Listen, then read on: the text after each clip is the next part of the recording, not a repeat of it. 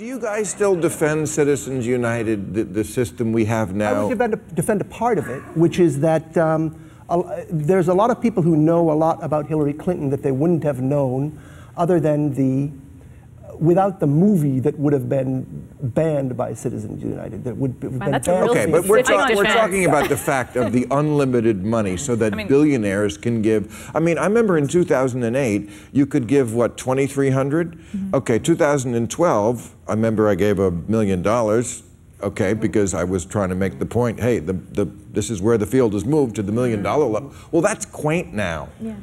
A million dollars is, now Well, we're at the billion dollar level. I, I, This, th- this is not free speech. This is not what the founders intended, is it? This is not fair. Well, I mean.